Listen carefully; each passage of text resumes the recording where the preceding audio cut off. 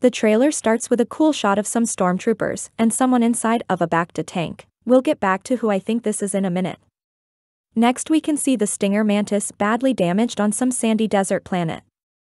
I assume this is Tatooine but it could just be a new planet. In the next scene we see the Grand Inquisitor, who I'm assuming is the main villain of this game, sitting in an office on what looks to be Coruscant.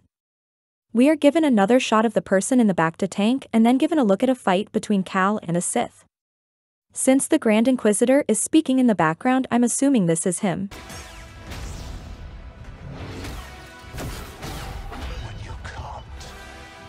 Cal's lightsaber gets damaged during the fight leading me to believe we will see some blaster combat in this game. We see the Bacta tank once again this time with Cal standing right outside. In this last Bacta tank shot it looks like Taron Malicos is inside the tank.